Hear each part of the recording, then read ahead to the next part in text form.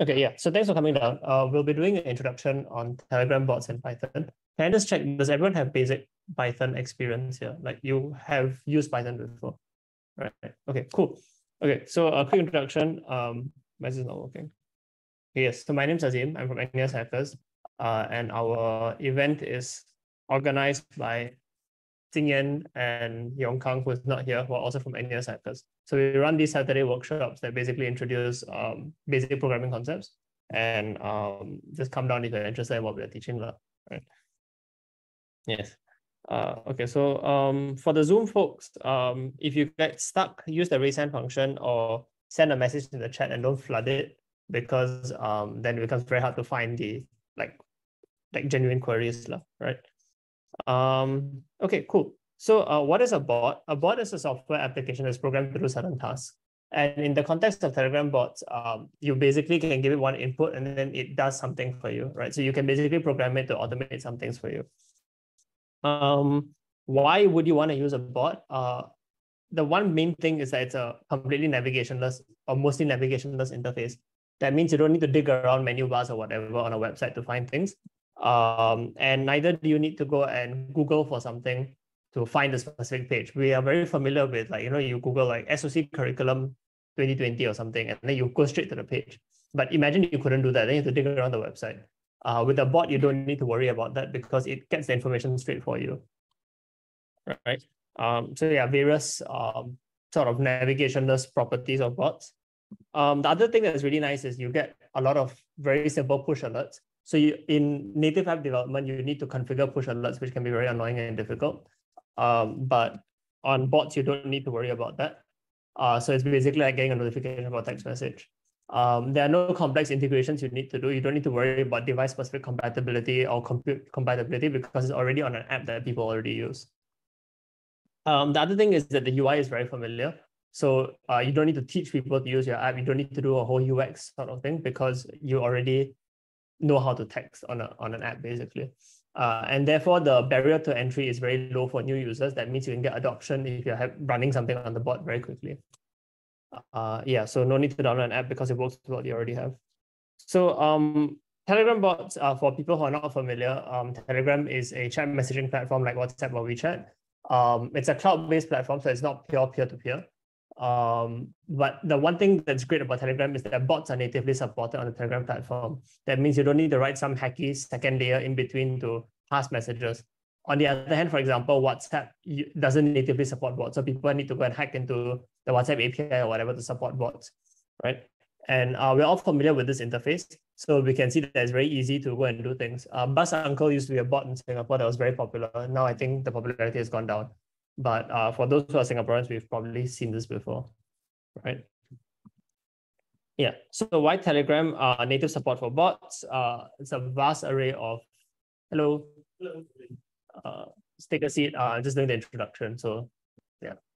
Um, so the vast array of SDKs that support how to build bots. So even if, so today we're doing it in Python, but if you are more comfortable in JavaScript or C Sharp or whatever, um, there's a lot of SDKs out there, right? Um, and as I said, um, no device specific compatibility problems. Telegram abstracts all these things away. Um, so today we're going to cover three different interaction paradigms with bots. Uh, the first one is a request response paradigm where you basically ask it a question and it gives you an answer. The second paradigm we're going to cover is uh, server side alerts. So that means even if you're not doing anything, if something changes somewhere, the bot can send you a message. And the third paradigm we're going to cover is group-based interactions. So group-based interactions are if you guys have played like Werewolf or something on Telegram, then you know that you know uh, people can press something on one side of the board and then in the group itself something else changes, right? So we're going to briefly cover these three different paradigms, and then you can um, do whatever you want with this information, I guess. Right. So how do people use bots? A um, couple of things. Uh, they you do input manipulation. So you get the bus timings, add numbers up, solve some quadratic equation. Um, and we are basically going to start with something straightforward like that. So we're going to start with the request response thing where you basically give it a command and then it does something for you. Uh, and we are going to start, jump straight into that. So the prereq for this is that you have a Telegram account and you have a Gmail account, right? Uh, for the guys who just entered, take a minute, get yourself together, and then um, once you're ready, we'll move ahead, I guess. And uh, for the Zoom folks, if anyone doesn't have a Telegram or Gmail account, then um, you know, please let us know. Uh, in the meantime, I'm just gonna raise a few common Telegram bots that are already out there that you want to look at for inspiration. Um, so AirTrack is a bot that basically keeps track of prices for selected air routes. Uh, there are productivity bots such as the Gmail bot and Trello bot and things like that. So these are meant to com um, complement web applications. If you guys have purchased stuff on Lazada or whatever, you would have got a Ninja Van Telegram bot that sends you stuff, right? So that's a very good example of something that you can automate in some ways. Um, so the Gmail bot is interesting. If you don't want to keep checking your email, it will send you a push notification on your Telegram when you get an email, for example. Um, and then this werewolf moderator bot thing that we talked about, right? Um, yeah. So our environment for today is going to be something called Google Colab. Uh, have if you haven't heard of Colab, it's basically a Python environment on Google servers. Um, so there's no auto completion, which sucks. But um, on the bright side, you don't need to set up your own environment. Everything's done there for you, and we don't need to worry about oh, it doesn't work on my computer kind of problems, right? Um, so while waiting, um, just go to colab.research.google.com. Um, I know my slides say there's a link in the Zoom chat, but Zoom folks, I think you can just type this in, I guess. Uh, yeah, and create a notebook, right? So you can name the notebook whatever you want, um, but something along the lines of request response or something makes sense because that's the first thing that we're going to do.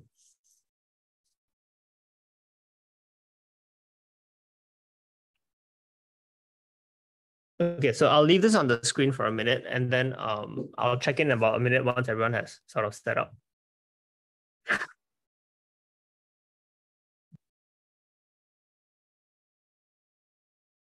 Right. Um, so this is my Colab. Uh, it, yours will not look the same, but just turn on your thing and I'll give you guys an introduction. Okay, cool. So um, let me give a quick introduction to Colab. So the way Colab works is that basically you have uh, you can think of it as a Word document that can run code, right? So um, you can basically write text like this, but you can also write code like this. And um, these code chunks basically can be executed independently. So the reason this is helpful to us in today's context is because this runs on Google servers and you don't need to worry about um, dealing with packages that are not working properly on your local machine or your Python installation being problematic or whatever. Uh, you have a standard environment for everyone to work with. Um, it's nice for teaching as well because we can write comments and documentation like this. So as we are going through this, if you want to take notes, you can just create um, like a cell. So it's called a text cell, and then you can just like write whatever you want here, right? Um, yeah. Okay. So uh, one thing we need to talk about is something called packages. So packages are basically libraries, like chunks of code that do certain things for you. Um, and sometimes we need to install these packages into our environment so we can make use of them. So the command to do that in um, Colab is to basically put an exclamation mark in front of the word pip install and then the name of the package. So um, once you guys have a new Colab notebook already running, just create a new code cell and then type this in, right? um, I'll just up the zoom a little bit so people can see, but basically this, right?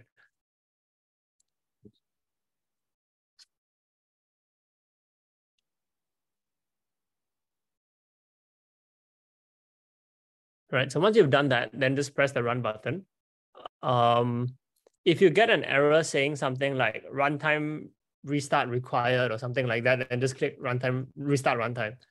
Um, yeah, and then we can move back on to a couple more things before we can start coding. Right. Uh, so has everyone tried running that command? Do I need it on the screen a bit more? Everyone has it, right? Okay.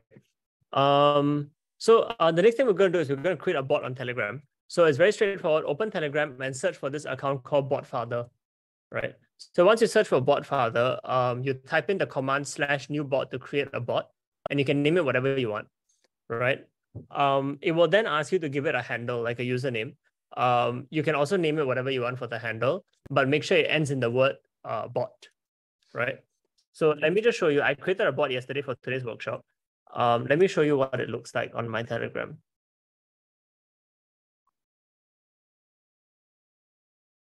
Right, so this is my Telegram uh, it's a little small, but basically you can see that I uh, basically type the new bot command, and then it asks you to create a bot. You give it whatever name you want to name it, and you give it a handle, and then it will basically um, give you a bunch of information. The main thing you need to take note of is this token here, right? So just copy the token and put it somewhere. Um, and this is what we will use to control your bot, basically, right?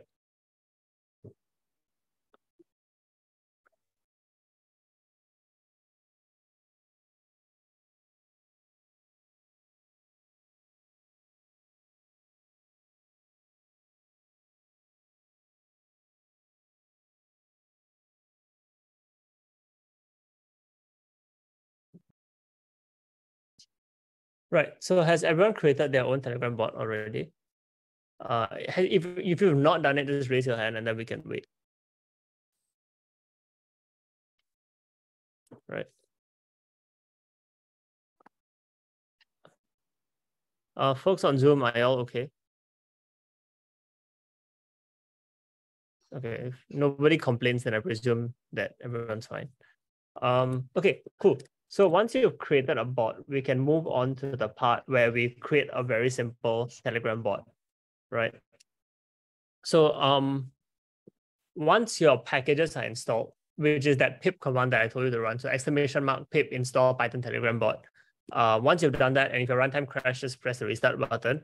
Um, go to this URL, tinyurl.com slash tbot01.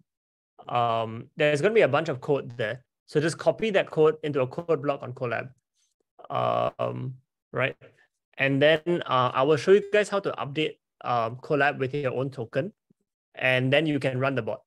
Uh, once you do that, basically you've created your first Telegram bot. So we are basically like two minutes away from having your first Telegram bot running. Right. Um, so the URL is tinyurl.com slash tbot01. Um, I'll also show you what it looks like, right? So uh, open link. So basically, it's uh, a thing on my GitHub. It's got this bunch of code, right? So you just copy all of this. Um, and then let me bring my other window up. Yeah. And then you come here and then you just paste it, right? Uh, once you've pasted it, there is a line here at the end of the first code block where it has a variable called token, right? So inside token, just replace it with your own token, right? tinyurl.com slash tbot01. Let me just flash it on the screen again. This one. Right. So all our URLs will be structured like this. So the next one's going to be tbot02 and then tbot03. Uh, yeah, just to make it easy for everyone. Right.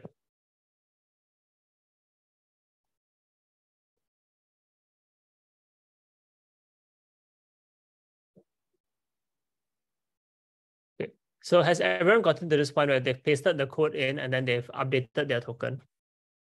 Yeah. How do you get a token? Okay, so uh, very simple. You open Telegram, right? And you search for this user called botfather, right? So just add botfather, right? And once you search for him, um, you'll have this thing. You start the bot and then you type the command slash new bot. Then it will guide you through the process of creating a bot, right? Uh, so you can name it whatever you want, and then I'll ask you to also give it a, a username. The username needs to end with the word bot. That's all. That's the only requirement there is. Um, once you've done that, uh, it will give you a token, and that's a token you need to copy. Right. So you copy the token, you paste it here. Right. Um, once you get to this point, you can click on this cell, right? So the first cell, click on runtime, and then you can click um, run after right? So one more time, run time and then run after, or you can memorize the keyboard shortcut for this, right? So this will basically run all the code blocks all the way down to the bottom, right? Um, let's hope it's doing that. Okay, crashed. Oh, right, I didn't install my own package. Uh, okay, so yeah, so your package installation will look something like this. Um, and then you might get this error like I'm doing, and then you just click restart runtime. And then you click yes. Uh, then once that's there, you can So this is a bit finicky sometimes, um, but you should be able to rerun this without any issues.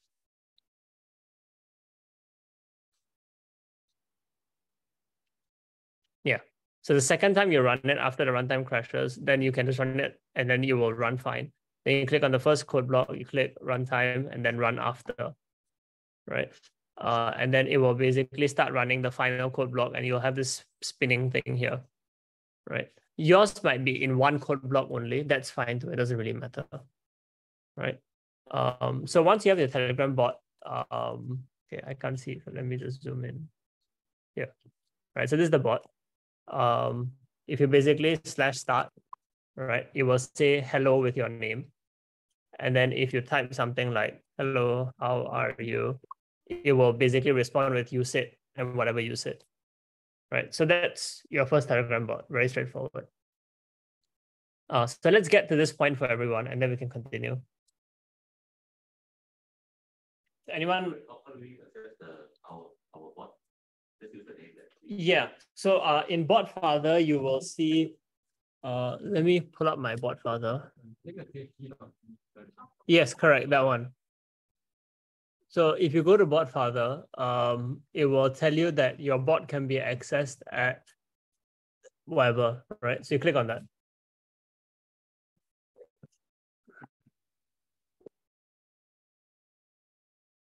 Um, okay, so this is answering two questions on the Telegram chat. Um, how, why your bot father UI is different might depend on your Telegram client. So mine is the macOS desktop client, but if you have a different Telegram client, that might look different. Um, right. So um, I think it's important to understand what's going on exactly here, right? So I'm going to go through the code so you understand what's going on. And then we're going to do another exercise where you sort of build a function yourself right? So um, the first thing we did was obviously import the package, which I talked to you guys about.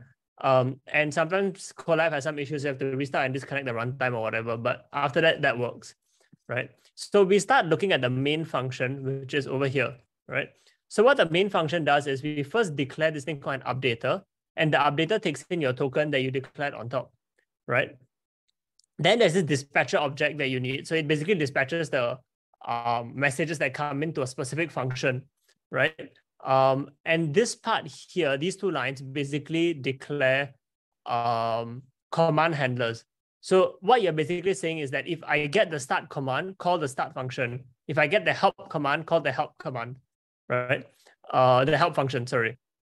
And if you don't send a command, so let's say you don't send slash start or slash help, uh, if you send random text, then it will basically send the message to the echo function, right?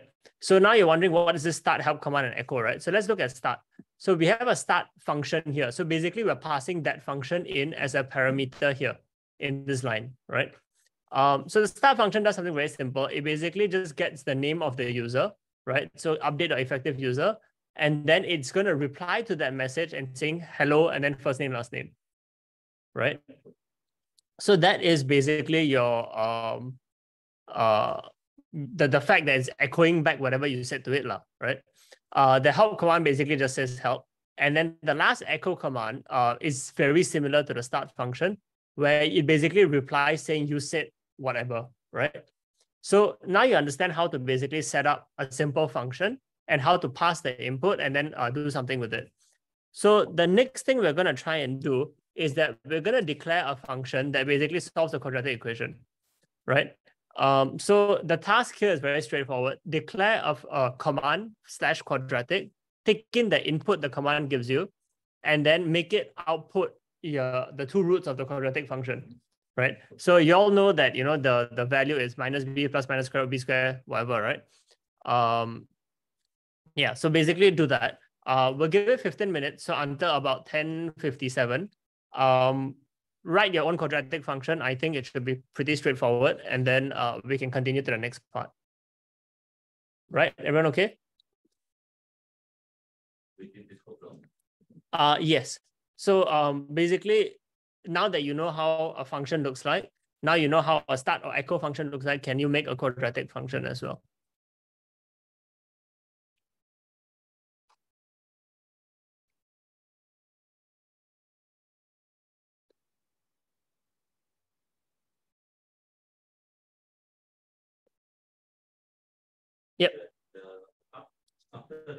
Name the update, Mhm. the update is that relevant for Which part? uh, like after the function name uh, like after echo, After echo, this one? update, update. for- Uh, define as- define as echo. same line as echo being, uh, this, these are parameters.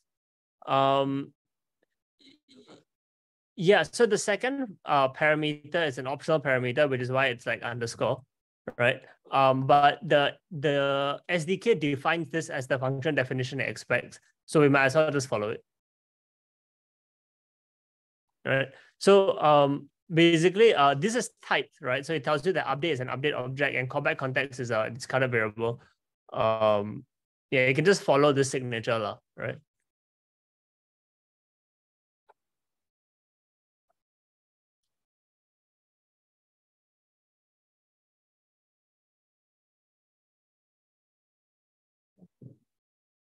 So I will also very quickly start off writing the uh, quadratic thing.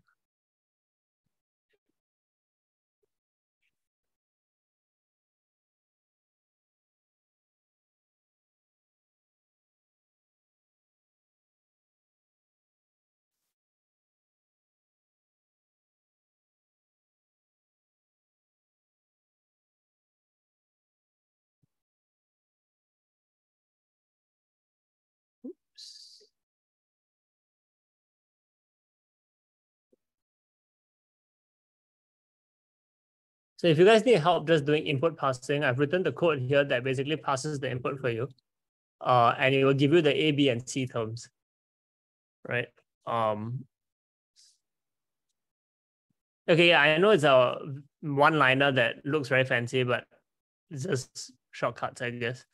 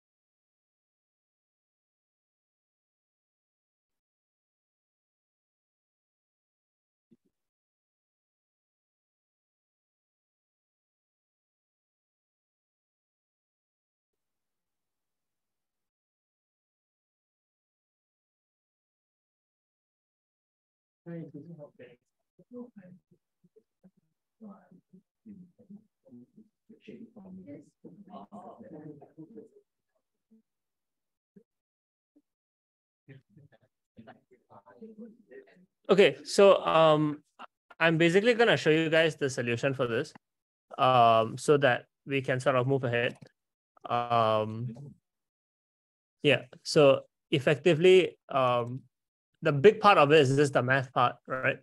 Um, so you define the discriminant, uh, you calculate it, and then you have your solution one and two, and then you reply with that solution. And then the other line that you need to do is basically define the command handler. So you can copy this and then you can just call it quadratic. And then this should map to the function that you've created. So that in my case, it's just literally called quadratic, right? So we just call it quadratic here. And then uh, you have this ready. So then what we can do is we'll stop my bot. Uh, stop. Okay, it takes a while. Okay, there we go. Um, and then we come back here and then runtime run after. Right. So um, the quadratic thing should basically look like this. And then um, let's see if my Telegram bot works.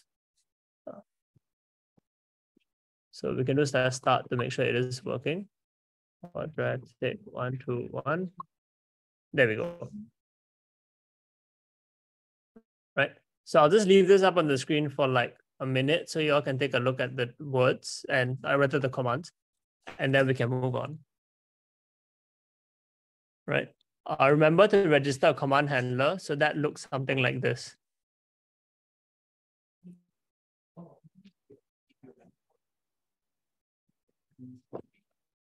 Anyone? Yeah. It doesn't have the complex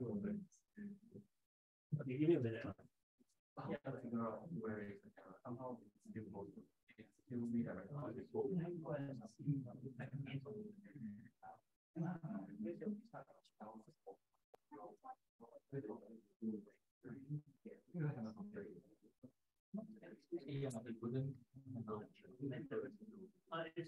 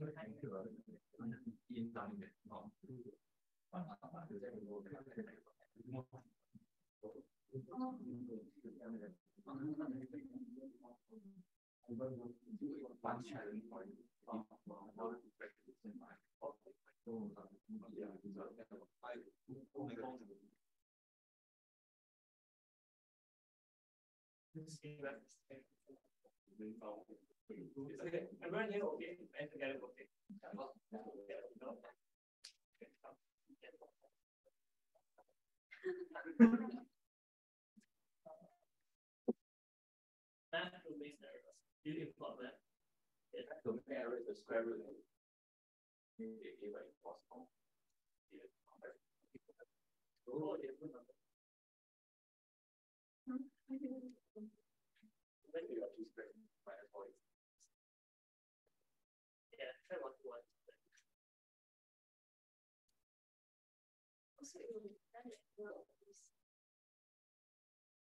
Yeah, yeah. That, okay, let's go back and.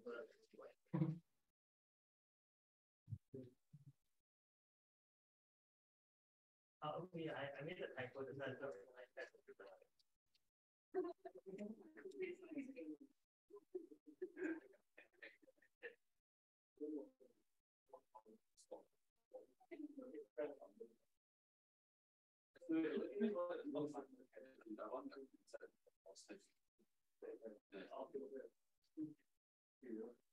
As in the, you want the Telegram version of completely stopping the one?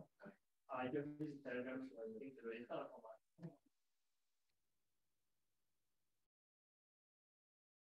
Okay, uh, just an update to everyone because I messed up just now. It's reply text and not reply test, right? Uh, two people have pointed this out to me, so yes. right here, reply text. Okay, um, okay, so let's uh, move on, right? Uh,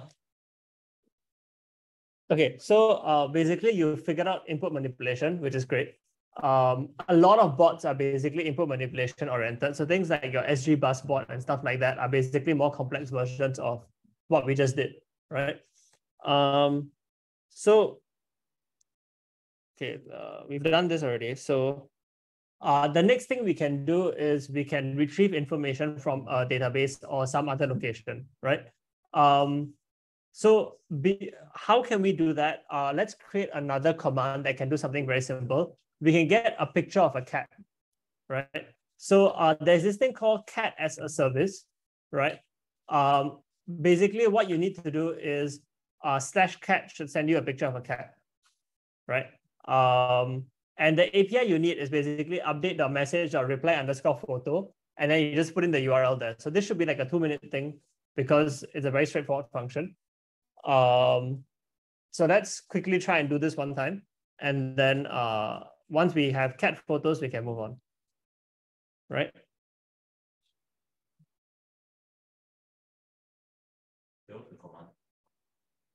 Uh, so just create like slash cat or something, I don't know.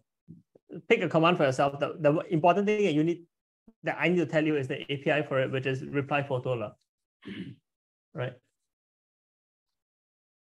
Uh, so we're a little bit behind time. So what I'm going to do is I'm going to code this on the spot as well and then y'all can see me do this. Um, and then uh, we all have cat photos. Right. Okay. So we can basically define another function that basically looks like the quadratic thing. um, I don't know, we call it cat or something, right? Um, and then uh, all you need to do is basically define the URL, which let me just copy paste it here. Right, so this is your cat as a service.com slash cat, and that gives you your URL. And then you just need to do update dot message dot reply underscore photo, photo URL. Right, then as I previously talked about, you need to register a command handler for this as well. So you register a command handler called cat and cat. And then uh, in theory, this should work, right? So let's just stop this. And then uh, we restart this from here. And then hopefully this works. Ta-da, cat photos. Yeah, okay, great. So we now have cat photos. Um, okay, so uh, if you guys already basically follow what I did, you would have noticed that you keep getting the same photo back, right? Um, so the reason is because Telegram caches URLs. So what you can do, a very simple trick, is you can make Telegram keep thinking that each of these URLs are new.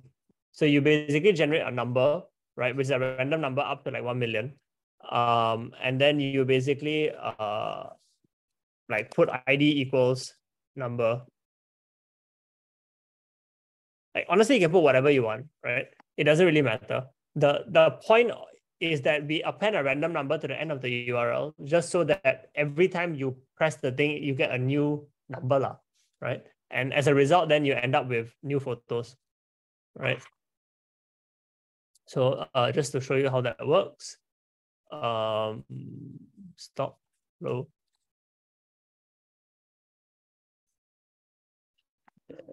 Runtime.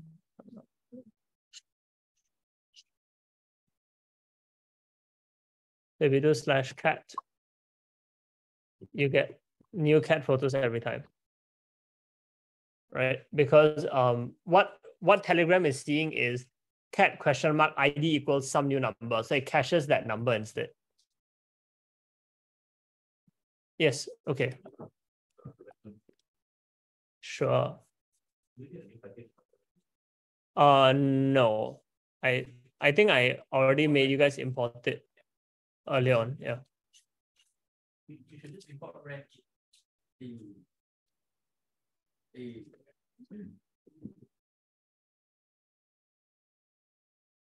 Yeah. Because so the, the website sends you a every time, but what Telegram Telegram specifically captures the response of the website. It doesn't need to keep following the website. Uh, so to Telegram is a Telegram optimization, right? Uh, okay, so we add these random numbers to bypass that caching mechanism. Right.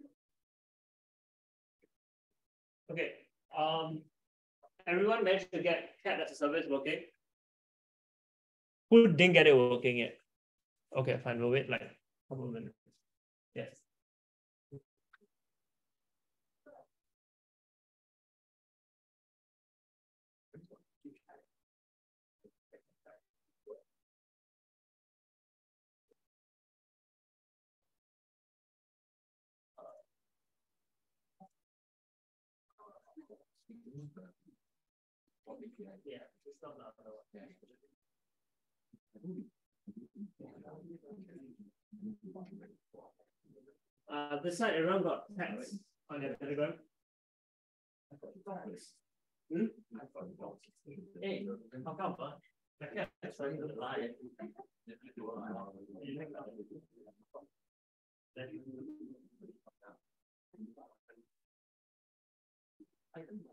that- Yeah, and then the.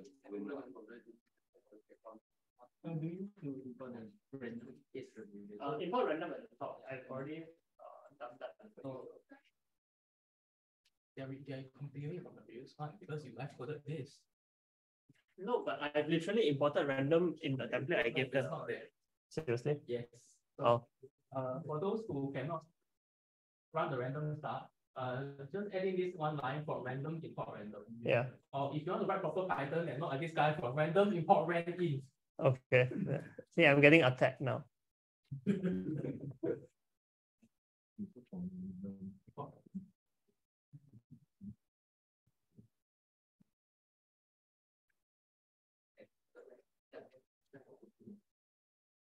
Okay, so I think what I will do is I will move on to the next part of the workshop.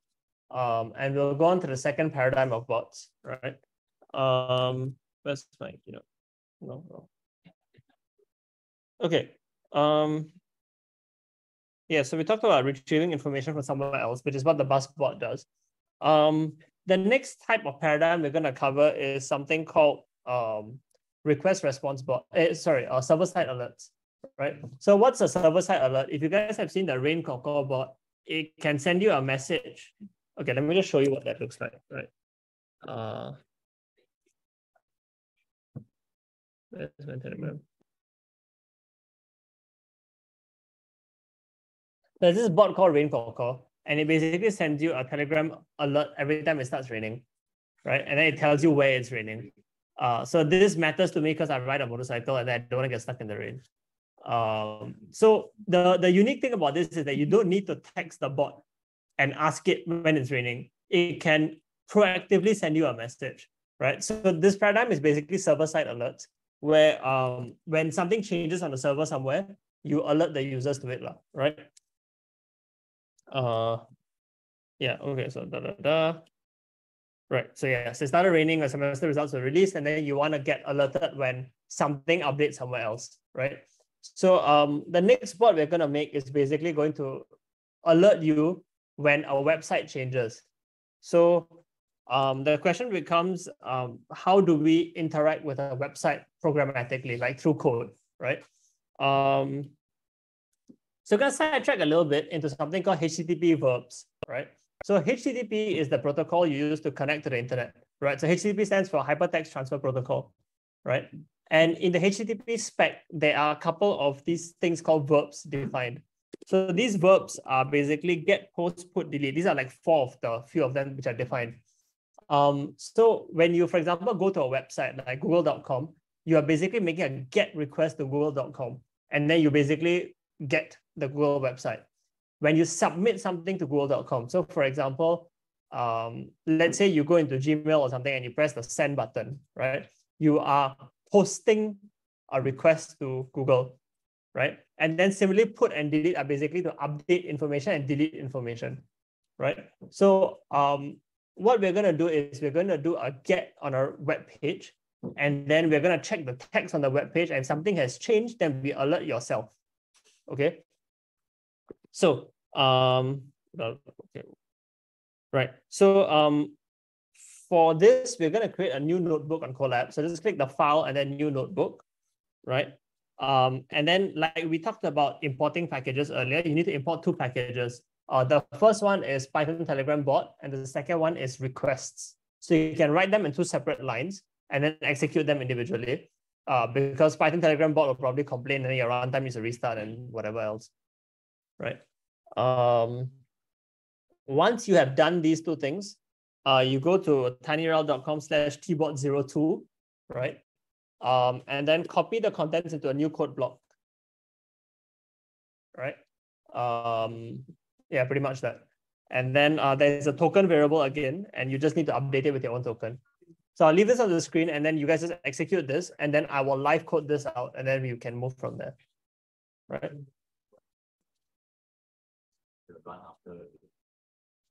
Sorry? Run up. Uh, no, for the runtime thing, you just click the, the play button. Uh, just click and import the package. Are you having experimental using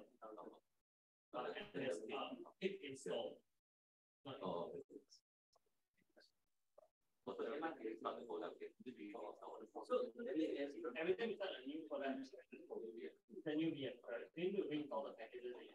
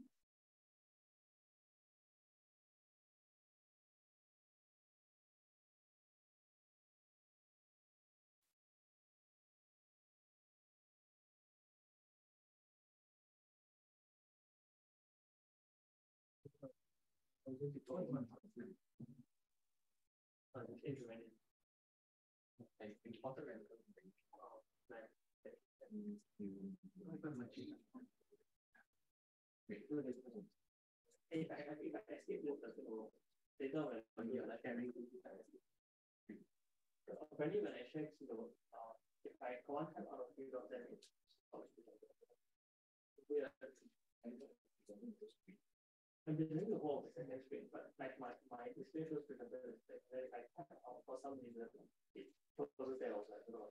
Is it because uh you know like switch the game mode? I think so. I think if you don't take over both like this might be You know, I will control the resolution. Yeah. Exactly.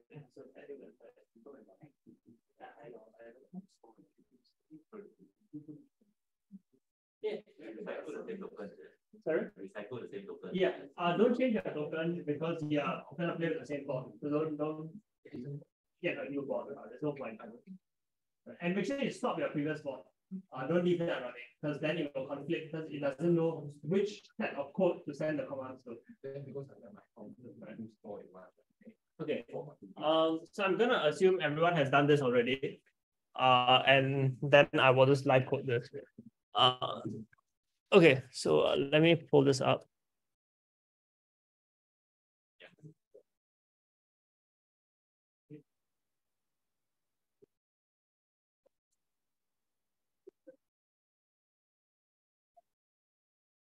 Right, so you should basically see something like this on your thing and you should have pasted your token. So uh, let me copy my token over as well. Uh, here. Right. Okay. So you should see this thing called manual poll, right? This one function here. Uh, we will slowly modify this function now, right? Um, I need to fix some Wi-Fi thing. Give me a second. Uh,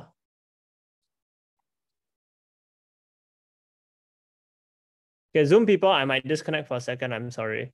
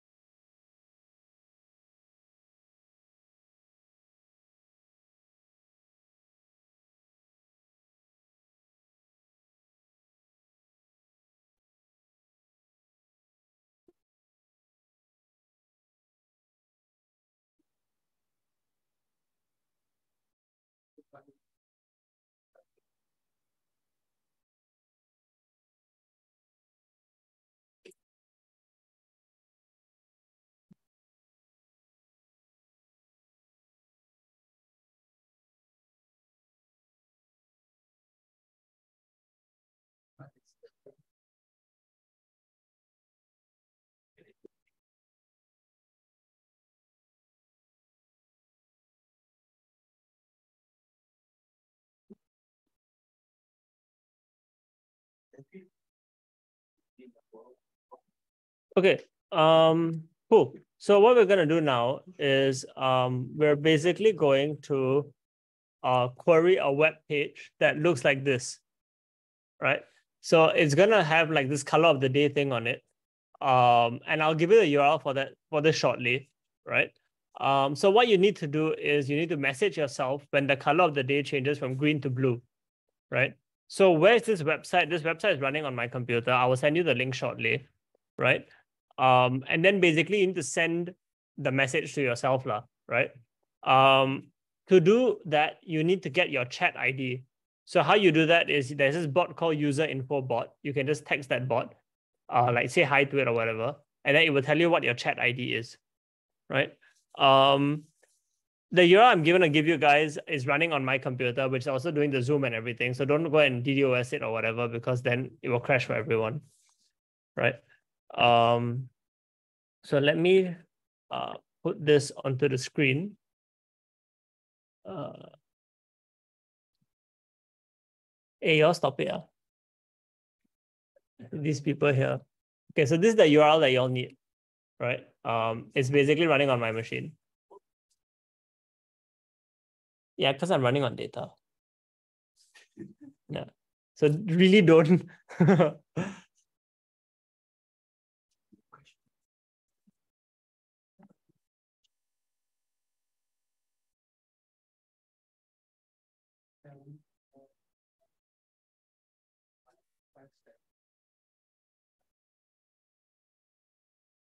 Is it started? I cannot access it yet.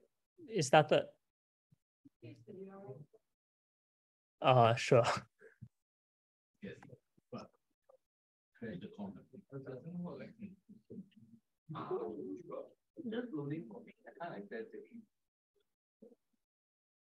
I think it's NUS for that. Wait. No, lah, it works for me. Right. Uh, let me uh, wait, ah, so So, shake. And I'll paste this in the Zoom chat as well. Yeah. So really works. Hey, you sure HTTPS works or not? You try HTTP. Hey, access to this website is restricted by NUS. Lamau. NUS block, yes. NUS block. Does HTTP work? No, no, NUS block it, dude. Look at this.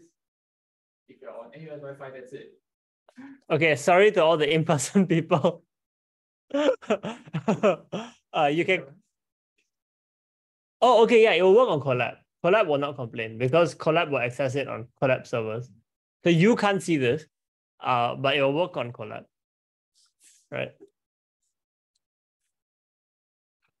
Uh, if HTTPS doesn't work, change to HTTP, I guess. Uh, both in theory should work.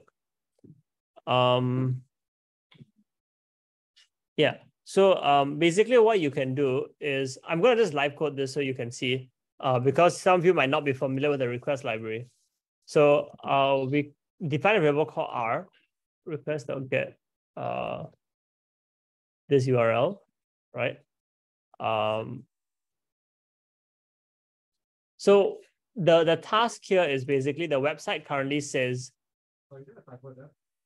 uh, where? Uh, yes, I can barely see my own typing. supposed to be a- R equals. Yes, sorry, I cannot quote today. Why can't I type today? Yeah, is it correct now?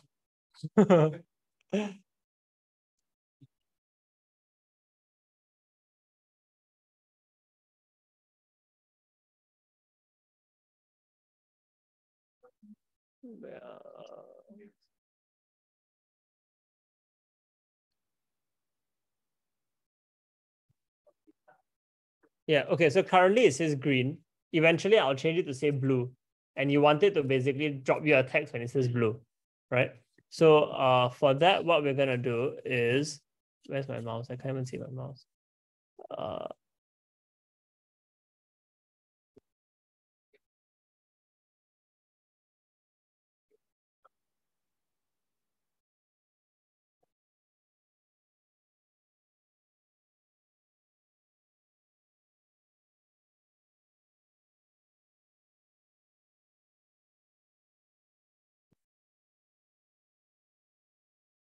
Right.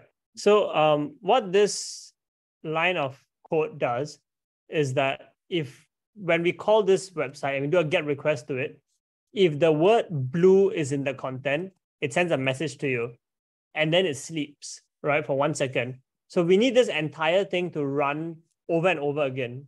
So we can basically set up a while true, uh, while true, and put all this in that loop, right?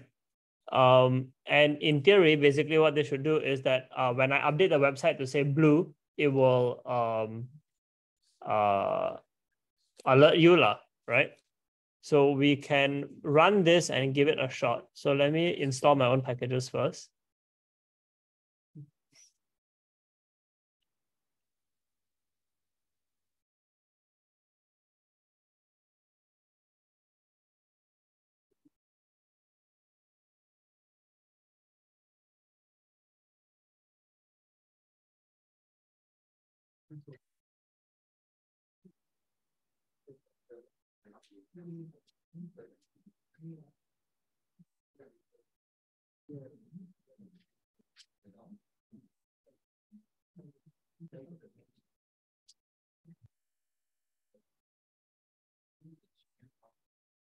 Yeah.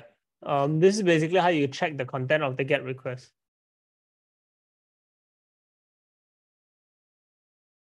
So as I mentioned earlier, you need to go to this thing called slash use the this bot called user info bot. It will tell you what your unique chat ID is. That is how Telegram identifies your account, right? So you need to get that chat ID, and then uh, you can send a message to specific people like this, basically. So as long as a person has started a bot before, you can basically send them messages, lah, right? Um, don't use this to spam your friends. Telegram will ban you. Uh, uh, user info bot. So at user info bot. Right. Okay. So I'm going to just run this. Okay. And then uh, we have my Telegram bot here. Right. Okay. So right now, nothing is happening, but um, I will update the website to say blue, and then hopefully it works uh-huh, and then you get this message saying it's blue, right? So if you go to the website now, it will say blue. Um, but if I change it back to like green or something, then it will stop sending this message. Uh, what website? It's this website here. Yes, the ngrok one. Um, try accessing it on your phone or mobile data instead. Yes, it's because I'm running on my computer. There's no SSL, so it doesn't work. If you don't want to get that error, you can just change to HTTP instead, and then you won't get the error.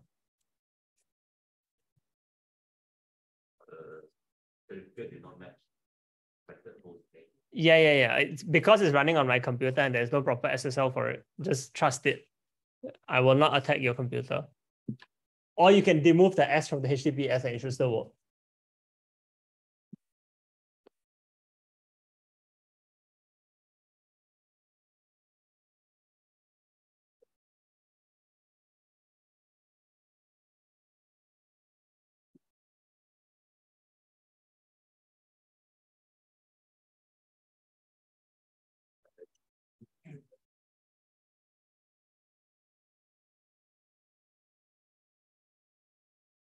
Okay. Well, this bot called user info bot is set for where we put it.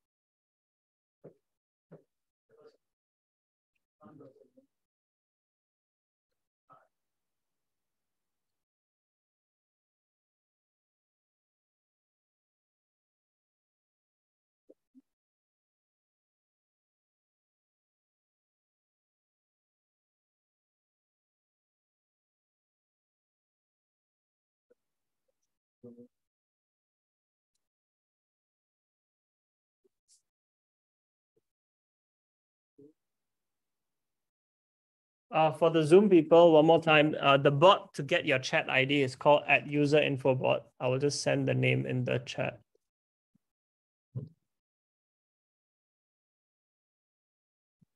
Yeah, just text this guy and then it'll tell you what your user info is. Oh yeah, sure.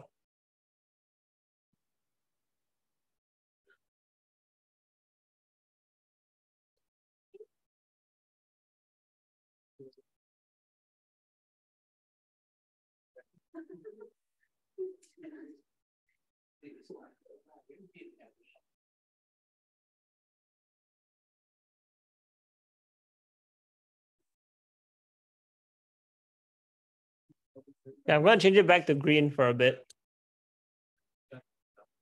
It's green now. So if you want to check if it's green, just change the text to green. Yeah. Yeah.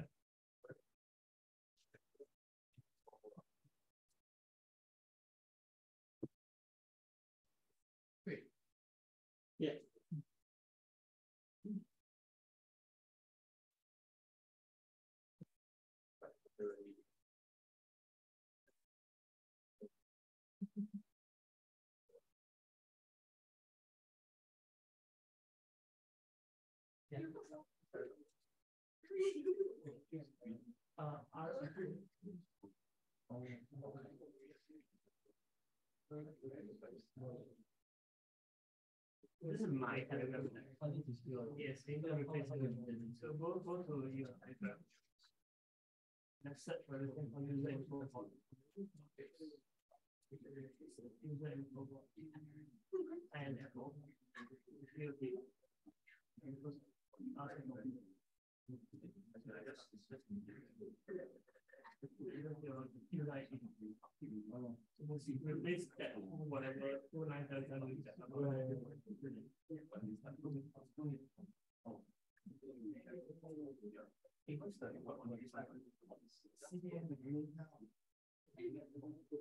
cannot easily clear and And my skill cannot do one.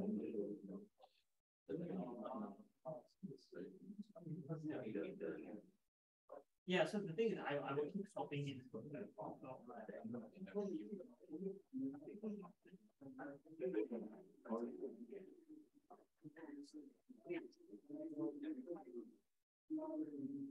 Okay, uh, I'm gonna change it back to blue if you want to test. Uh. Okay, so now it's blue, so then, um, we get this very useful in blue message. I'm gonna let this run for another like one or two minutes because my data will probably die because. of- uh, So yes. Everyone okay? Do y'all get it running? Yeah, good, okay. Y'all get it running? Yeah. Zoom people, okay. No, it's not. Guys, uh, find the user for even though I'm the right. I think it's typo lah. Okay, sorry.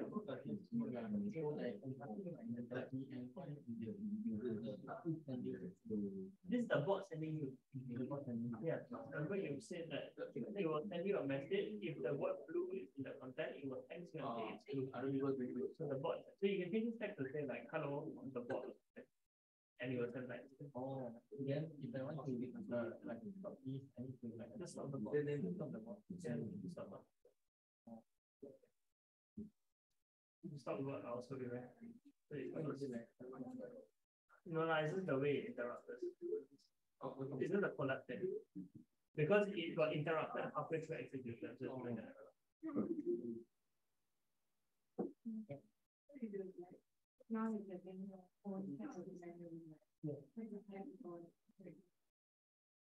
Um, so it depends on how you build it, isn't it? Um, but if typically you will set up a system where you will tell people register for updates or something. So click here to register or send slash subscribe to register. And when they do that, you can get that ID and once you store that ID somewhere, in the future you can message them. Uh, we're gonna explain this simple bot that sort of does this. Um, but um, you can look at the reference code and remove from there like, if you want.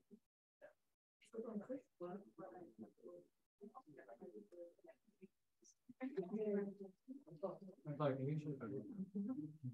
Sorry? Oh.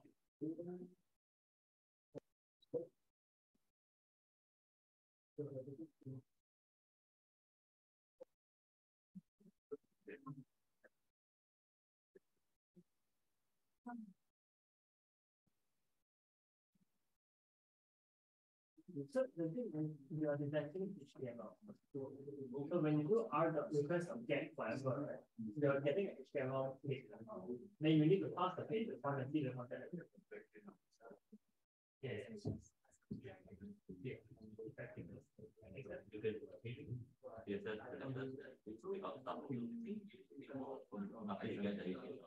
You could put it through something that uh that can traverse the HTML DOM. Right? So uh if you have when they using HTML DOM parsing library, they can give it selectors and then it will give you a point or something. Uh so there's one thing called beautiful soup, it's a Python library that does this. Yeah. Eight, no. Every 10 seconds. Oh, okay. Okay, okay, yeah, yeah. Something this before. Yeah, we'll talk about hosting and that. Okay, I'm going to stop this and stop using my data. So this will stop working for everyone now. Um,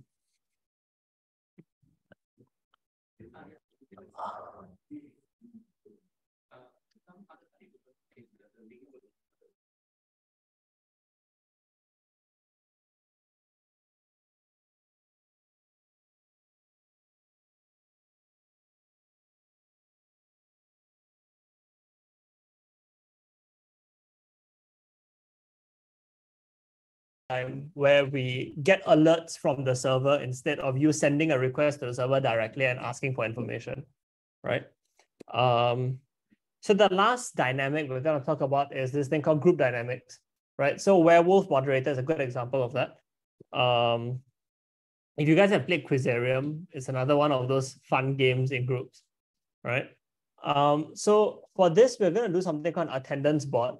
Um, I'm not going to make you guys implement it because there's a bit of complexity involved. But what I will do is I'll show you how it works. And then I will go through the code with you and I'll release the code to you guys. And you can, can run it yourself at home if you want. Okay. Um, okay. So um, if you want to look at the code, it's at tinyurl.com slash tbot03. Um, yeah. Uh, and eventually, when you look at the site, there's a Colab link that you can go to directly as well. Uh, no need to copy this down. The quite pointless in you trying to cut this. Just click on the keyboard one. Right. Um, so for this, Tingyan will be helping me out, demonstrating how it works. Um, give me a second and I'll set this up.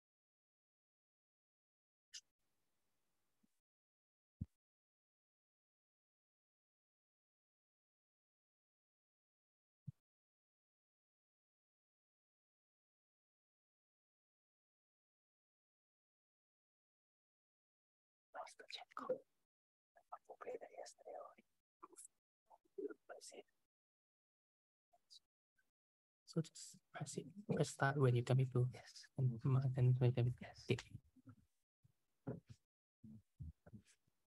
Okay, so um, I'll just show you what I'm doing. I'm basically installing the packages on Colab and then uh, dealing with this runtime problem.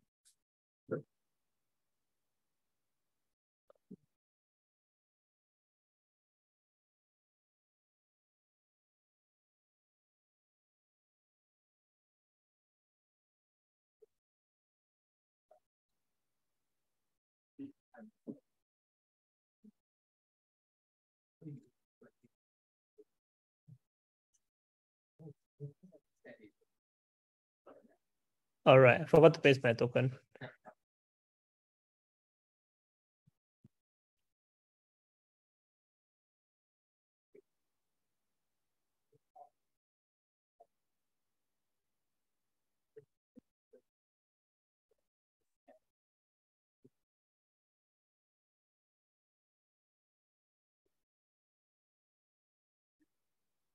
Okay, Um, so there's this Telegram bot, attendance bot thing running. Um, so I'll show you how it works, right? So basically I will type slash start and um, it basically says welcome to the attendance bot and your username has been stored, which is what you asked about earlier, right? How to store a person's information. So we've done that. Uh, Tingyan, can you also start it? Okay, so Tingyan is the fixed student in this class, okay? Done? Yes. Okay, so um, then what I have a command called uh, start attendance, uh, I believe, right? And then it will ask me to choose a class, and then I this button pops up, so I can click it, and it selects this.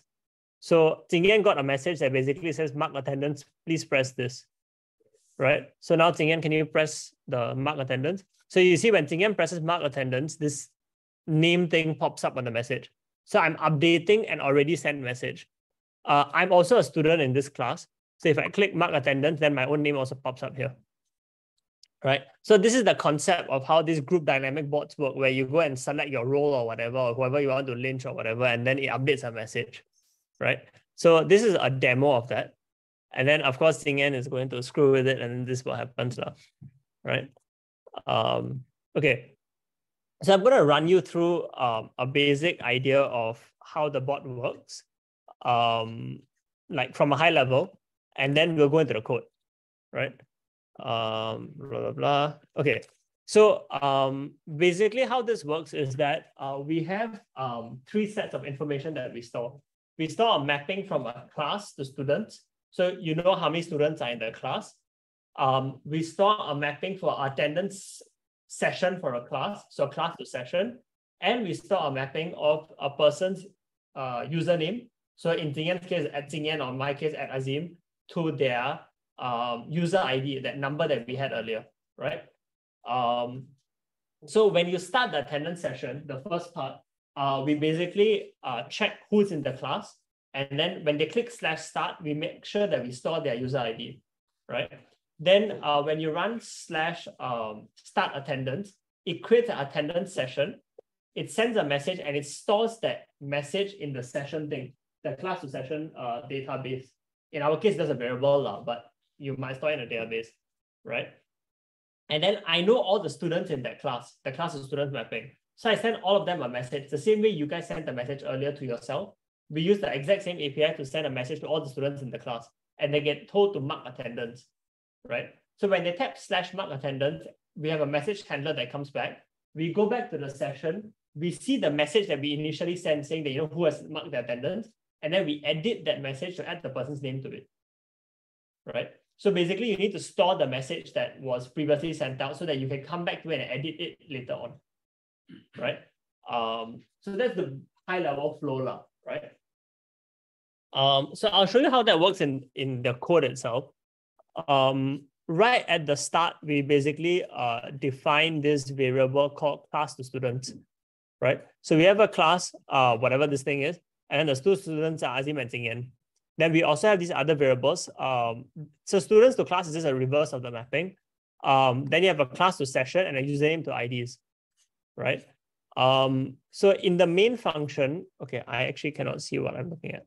Yes, in the main function, we define um, this thing called a conversation handler, right? So you can look up how this works. But basically, when you call start attendance, it calls a start attendance session, right? So this function here. Um, and when we go to it, which is here, um, you choose a class, right? And then it returns the class to you. Uh, after the start attendance session is called, uh, let's go back to my main function. Um, let me see, where is it? Yeah, uh, it calls class handler after that, after you select um, a class, right? Um, so for class handler is where the so-called magic happens, right? We basically get the chat ID. So chat ID is me, lah. I started the session, right? And then we create this thing called an attendance session object. Inside there, we store the chat ID, that message that we send, because we want to save the message ID, and the message text right? Um, the rest of this code is basically just um, sending the message to people and serializing this to a, a, a dictionary, right? Uh, later on, when mark attendance is called, so um, where is my main function? yes, mark attendance. When this is called, uh, and you go to the mark attendance um, function, what it does is that it goes there and it pulls out the session that we just stored, containing the chat ID, the message ID, and the whatever, right? And the message text. And then what we do is we do an edit message. So we do an edit message, we just pull the information out and we update it by just um, adding the, the, the list of users to that message, lah, right? So um, I know I'm doing this at a very high level, and if you want to digest the code, you should look through it yourself at your own time. But the idea is basically very straightforward. Once you have the message for that specific session stored somewhere, you can come back and you can edit it and you can add whatever else you want to it. So this is the same way Werewolf and Quizarium and whatever works. They send one message containing the current state, and when people lock in their selections or whatever on their own side, it will go back and edit that message, lah, right? Um, yeah, so that's the high level thing. I there's no point in me going through line by line right now because um, everyone will have a different understanding of what's going on, right? Um, but the code is there on GitHub. You can go take a look. You can run this yourself as well. So the main thing you need to do is basically add your token, and um, there is this uh, class to students mapping. Just go there and then add your name. So um, right now it's kind of hard coded. It expects your name to be here, your Telegram name, whatever that name might be, as well as your username, and it's case sensitive. Um, for the purpose of the demo, I didn't make it very resilient. But I mean, if you want to, then you can go and solve all these sensitivity problems and whatever, right? Okay, so um, that's the last uh, group dynamics paradigm. Um, I'm gonna explain two other small things, and then we'll basically be done with the workshop. Uh, so if you remember at the end of your main function for the first two demos we did, there was this thing called updater.start polling. So what does polling mean? right? So in Telegram, there are two ways of dealing with updates from a bot. The first way is polling, the second way is webhook. How polling works is that when a user sends a message to Telegram, Telegram um, updates the information on this API called the Get Updates API. Then your program needs to manually query this Get Updates API, get a response, and then do whatever you want, send a message back to Telegram or process it or whatever, right? So when you do updated or start polling, what is happening is that every like one second or half a second or whatever, it's calling get updates API and checking if there are new updates. Okay. The other paradigm you can have is this thing called webhook, right? So a webhook is when you tell Telegram, when something happens, contact me directly, right? So when a user sends a message to Telegram, Telegram directly contacts your program and says, yo, a user sent this message. What do you want to do? Then you can choose to respond to it right? You process it and you send it back to Telegram, and then Telegram forwards it back to the user. So Telegram is always in the middle, but the question is whether you want to go and ask Telegram, is there an update, or you want Telegram to come to you and tell you that you know there has been a change. Make sense? So these are the two differences. In most cases, people set up webhooks because you are running it on the server and you don't want to keep querying something because that is resource intensive, right? Um, yeah. Uh, so a sample implementation of how the webhook sort of thing looks like can be found here. The slides will be sent to you guys. You can just look at this link, right? Um, so some further reading and resources. If you want to find out more about Telegram bot API, you can go to Telegram's website and they have all the other functions that you can do with the Telegram bot. So there's a lot of unique things you can do. You can set up games in HTML. You can create custom keyboards. You can do buttons, all sorts of funky stuff, right? Telegram also accepts payments. So there's this thing called ShopBot, which is their demo ShopBot. Um, and you can basically go to that bot and you can make purchases. Um, Telegram also has a login API. So you know how you can do login with Google or login with Facebook, you can log in with Telegram as well, right? And as I mentioned, you can create games. Um, today we did our workshop in Python. Uh, so if you want to find out more about the Python set of APIs, you can go to this URL and there's a header called learning by example. So there are a whole bunch of different use cases that you go and read, and try different use cases if you want to figure out something that fits whatever project that you have in mind. Um, if you don't want to do Python, there is a very good Node.js API as well. And there are tons of APIs for other languages, including Java, C Sharp, and whatever else, right? So um, if you don't want to do Python or Node, plenty of options out there for you. The Telegram API is a REST API. So if you've got some funky language that has no good API, no good SDK, you can write the wrapper around it yourself as well, right? Uh, some good practices, your Telegram bot token is very precious. uh, if anyone else gets a hold of that token, then you can basically go and like mess with other people's bot. So if you guys are going to use Git for whatever thing you're working on, don't commit your token to Git, right?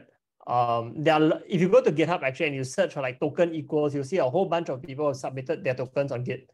Um, and then GitHub goes and warns them, you know, you have a token here. So don't do that, right? Uh, inject your tokens into your code using environment variables. That's the best way you can do things. Um, your username and user ID are precious as well. If you guys get, keep getting pulled into those random spam groups, and then if you're going to put your chat ID outside in public, then people can text you also. So don't do that. Um, also manage your packages properly. If you're going to use external packages in your project, then use a proper, proper package manager instead of just having things willy-nilly, right? Um, okay, so what we did today, we did request response, server-side alerts, and group-based interactions. All these, all the demos that I did live are available on these three Colab links. So you can go there and just take a look. Uh, and the Git repo with everything we've done today is on my GitHub. So you can click on that as well. Right. So that brings us to the end of today's workshop. And we would appreciate it if you left some feedback for us. Um, so just scan the QR code and give us some feedback. I'll flash this again in a second, but uh, in the next two weeks, we're doing two more workshops. Um, data wrangling with pandas, as well as introduction to machine learning with scikit-learn. So Statistics and Data Science Society is conducting this with us. And if you're interested, then please come on down. Uh, I think it'll be quite interesting right? So um, thank you everyone, and please leave us some feedback. Thank you. No, no, no, no, please don't start. Just one more thing to add on. Uh, earlier you mentioned don't commit your bot token, right? Uh, on that note, if you are not planning to reuse your bot after this workshop, you can go to BotFather and just delete that bot. Yes. And that token will be invalidated. Correct. Uh, you can create that this Telegram is the upper limit of like I think 20 bots or something you can create. So you can create a lot of bots, right? Um, so if you're not going to use it, just go and delete your bot and then create a new one when you're ready to start, lah, right? Cool. So I'll leave this running and then um, we're basically done for today.